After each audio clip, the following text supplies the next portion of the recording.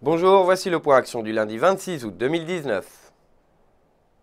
Le fonds activiste Surfpoint annonçait ce matin avoir pris une participation dans le groupe Essilor Luxotica après avoir rencontré le principal actionnaire et dirigeant du groupe. Ainsi, l'arrivée du fonds pourrait conduire à une correction court terme sur fond de doute sur la stratégie de ce dernier, et le cours de l'action pourrait venir franchir le seuil des 130 euros pour rejoindre le support situé à 127 euros.